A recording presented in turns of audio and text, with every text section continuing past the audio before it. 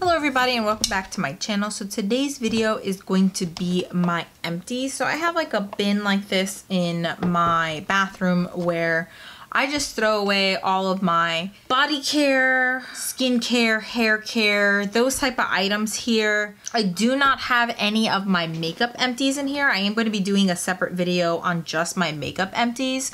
So because I have a little area in my vanity where I just chuck away you know, anything that I've used up, old mascaras, things like that. So let's go ahead and get started.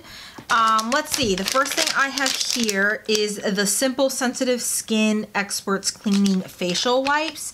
I didn't like these facial wipes and I have been I use them completely up, but I have been trying to not use or not purchase facial wipes anymore because I feel like they tug on my eyes a little too much. But I just, I really didn't like these. They weren't big enough. They weren't like wet enough. So mm, another set of wipes that I didn't enjoy is the Perfectly Posh My Face is Gonna Get Stark Naked Natural Face Wipes. I just I didn't even finish these because they're just they're just absolutely terrible. Okay, I have a soap here from Perfectly Posh.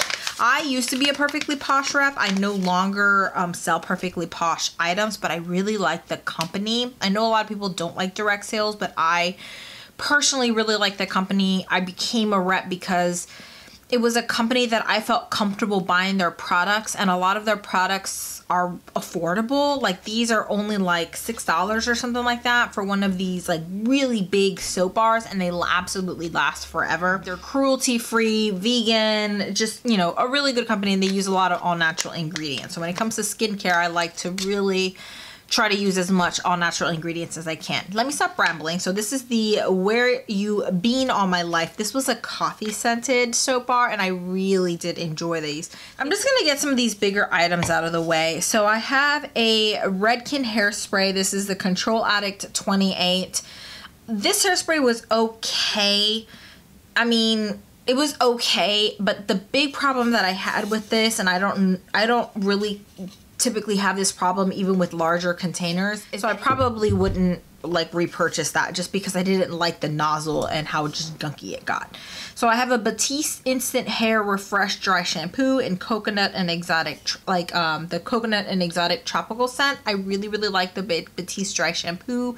Even though I have darker roots and like blue hair, I don't really think it has too much of a white cast. I really like Batiste. A lot of people really like Batiste. I am going to have a few higher end dry shampoos in the next couple of months during my empties because I wanted to kind of test out. There was a, a sale on the Sephora section, or maybe it was Ulta, I don't even remember where you had like the the packs where you have like a two pack of dry shampoo. So i bought some higher end dry shampoos. I've only ever tried like sample like deluxe samples of higher end dry shampoos. So we're gonna see how those compare to my Batiste because I have one more bottle of Batiste left and then I'm moving on to some of that high-end stuff. So if you're interested to see how those dry shampoos work out, um, check out my next uh, make um, empties over the next couple of months. Okay, I have the Not Your Mother's Naturals Tahitian Gardenia Flower and Mango Butter Curl Defining Detangler. I love this stuff absolutely love this stuff.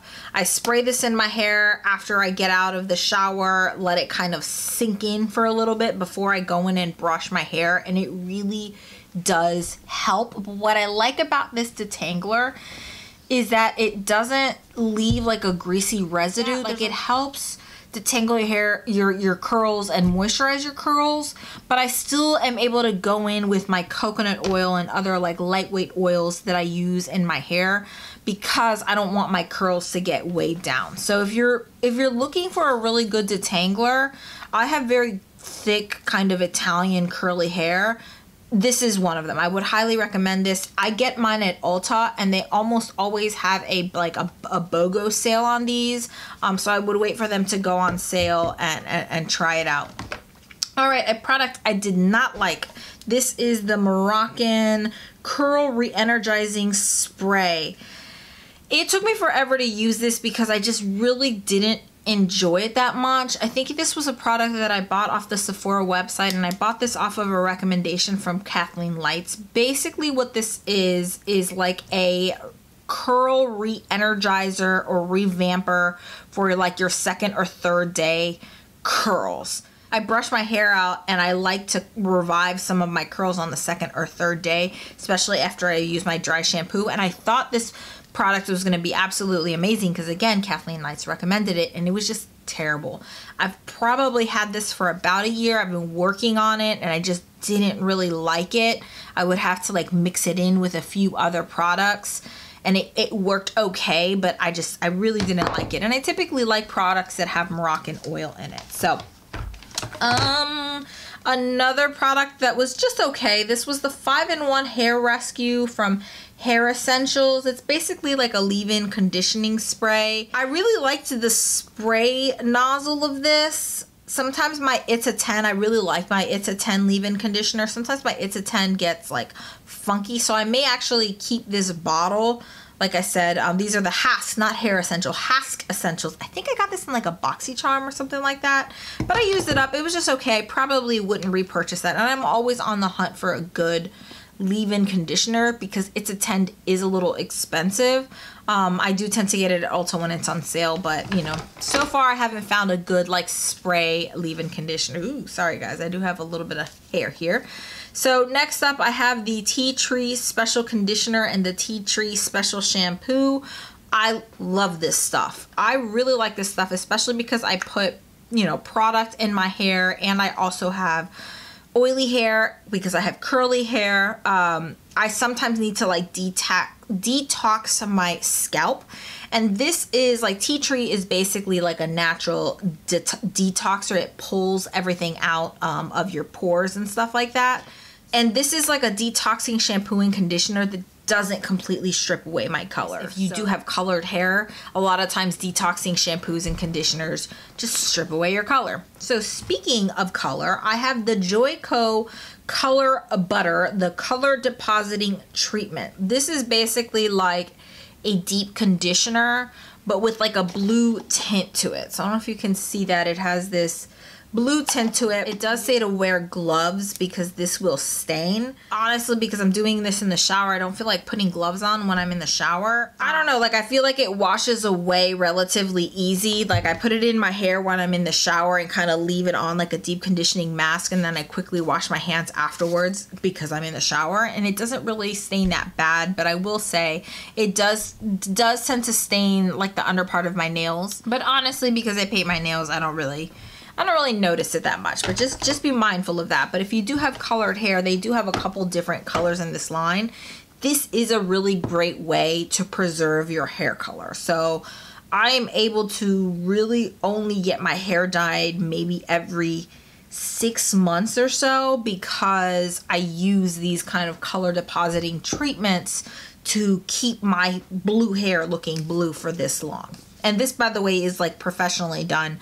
I don't I don't do my hair color at home. I go um, to a salon and get my hair like professionally dyed this color. I have the Amika Keep Your Color shampoo and conditioner. Again, I bought these because I like to buy shampoos and conditioners that are specially designed to prolong your hair color because this this this ain't cheap. So the Sea Buckthorn Berry I think both of these have sea buckthorn, buckthorn berry. And it's supposed to keep your hair color like vibrant and stuff like that. And honestly, I really didn't see a difference. And maybe it's because I do use these like color depositing treatments, but um, it was okay. And Amika is kind of an expensive brand. So for that reason, I probably wouldn't repurchase the shampoo and conditioner. But there are several products that I really do enjoy from Amika. So I do have their Perk Up Dry Shampoo.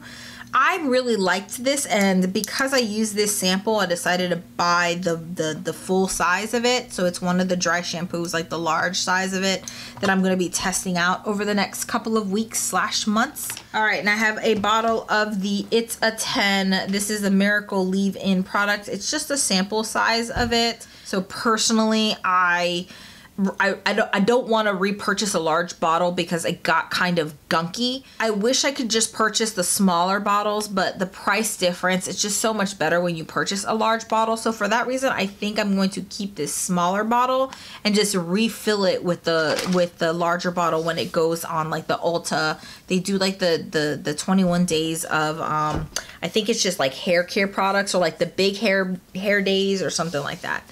So a product I did not enjoy, there was a trio of these, I believe. These are the Sugar Rush. Sugar Rush is like the skincare uh, line for Tarte. And I was really excited to try these. These were their whipped body butters, and um, they're called like cake butters. And there was a trio of these, and this one was in the scent sugar cookie. And ugh, they just smell like like Play-Doh. Like honestly, that's what they smell like. They just don't they have a little bit of a sweet smell, but not really. Like they just have like this Play-Doh-y scent and I just couldn't get over the scent. But on top of that, it just wasn't great. Like the lotion just wasn't great. So for that reason, I think I threw away the other two and I just ended up keeping this one. I got it on sale, thankfully, but there's a reason why it was on sale. Um, but do not pick these up. They are so appealing because, like I said, sugar cookie. They were all basically like bakery scents. They were just absolutely disgusting. I really, really hated them. All right, so I have a face mask here. This is the Sephora uh, moisturizing and soothing face mask. This is their Lotus face mask.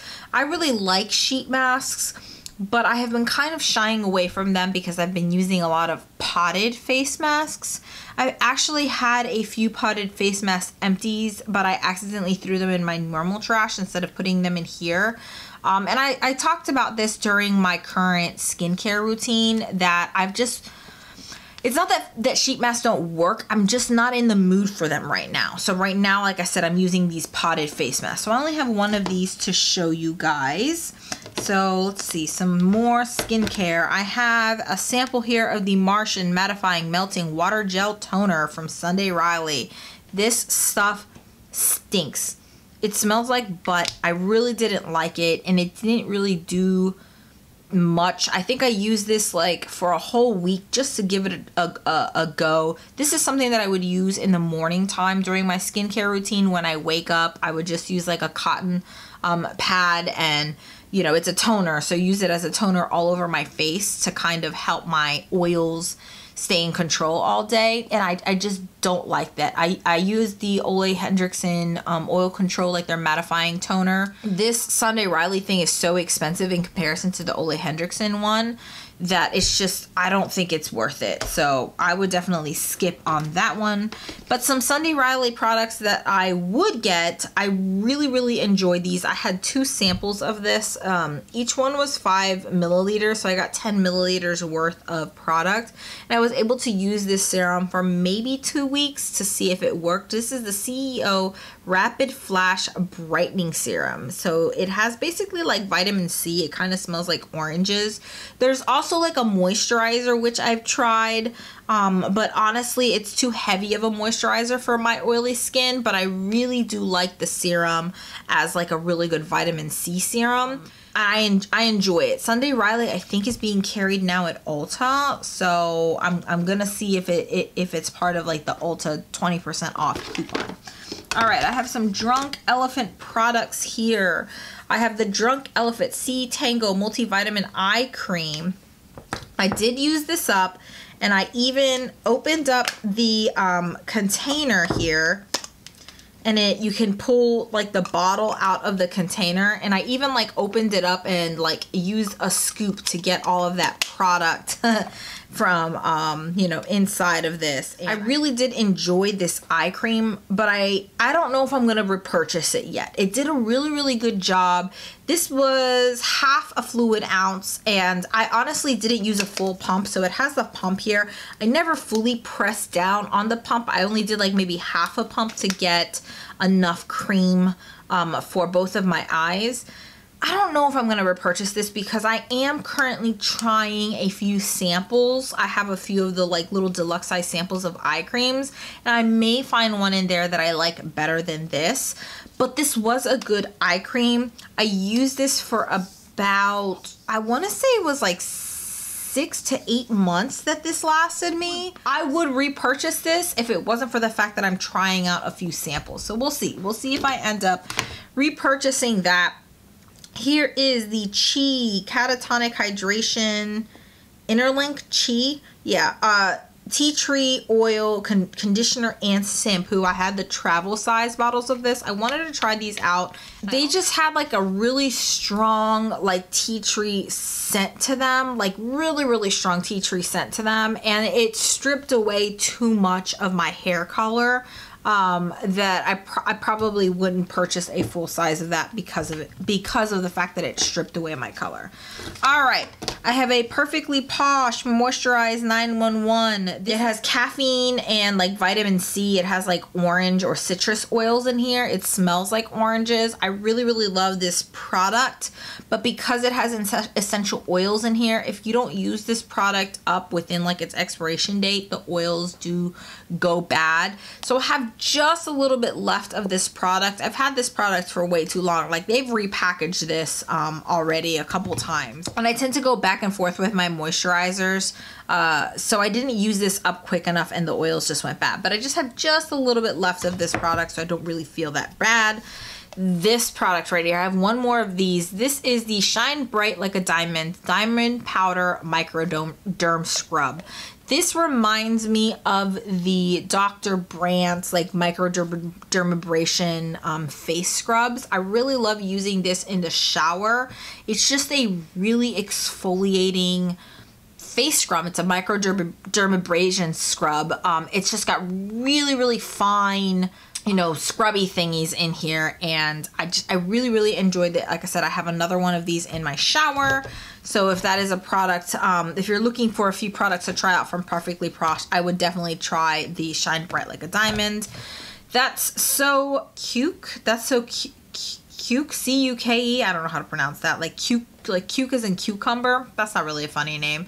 Anyways, this was a fresh foaming face wash with aloe and cucumber this was okay with respect to cleaning, like actually cleansing my skin. But one thing I did love about it, it does have like that cucumber scent to it and it is pretty strong. But it, it also had like this sweet kind of like marshmallow fluff. So it was like marshmallow fluff and cucumber. It really doesn't do that great of a job of like really cleansing your skin, giving yourself a deep cleanse. So this wasn't a product that I would use if I was using makeup that day and I had to do like a makeup remover because now I use like um, um the Clinique like one like the melt away your makeup type of things a cleansing balm. And I really need something to kind of strip away that cleansing balm just doesn't do it for me when I have a makeup on. So I have one more product here. Ooh, two more products here. I have the Drunk Elephant B-Hydra Intensive Hydrating Serum and the Virgin Marula Luxury Face Oil. I had deluxe size samples of it and if you guys have watched my recent my my current skincare routine, you will see that I do have the full size of these. I ended up purchasing the full size of these after using these two products together. I got these as deluxe size samples separately and I was going to use them separately, but I read somewhere that you should combine the serum and their oil together and that it does a really good job. Because I, I tried these together as a deluxe size sample, I ended up purchasing the full size. And that's probably a combo that I will continue to purchase for a while. I just really like that serum moisturizer because I have oily skin. I prefer serum moisturizers or gel moisturizers. All right. Last product, Perfectly Posh, Never Grow Up Anti-Aging Serum. I have another one of these that I am almost done with. You'll probably see another one of these in my empties. This one is okay. I mean, I feel like it's doing its job. I feel like I don't really have a lot of fine lines and wrinkles and things like that, but that could just be genetics. and uh, yeah, I, I, I just think it works, but I don't know if it's a product that I would necessarily recommend and I currently, like I said, do have the a bottle that I am finishing up, and I do have a few other anti-aging products that I want to try out. There is a Lancome sample that I want to try out, and then there is also the um, Bare Minerals one, the the skin Skingevity or something like that that I want to try out. Um, they're like anti-aging line, but yeah, those are all of my empties that I have accumulated in my bathroom for the past couple of months. So I'm gonna be really excited to get this trash out of my bathroom. I hope you guys enjoyed this video and kind of my mini review of the products. Leave me a comment down below if there's any products in here that I talked about that um, you've also had the same experience or a different experience than mine because again these are just my thoughts and opinions my personal experience from my specific skin type and issues and all of that fun stuff that I have going on on my face. So yeah, like I said, if you enjoyed this video, give it a thumb up, thumbs up. Don't forget to subscribe if you haven't already. And hopefully I will see you guys in the next one. Bye.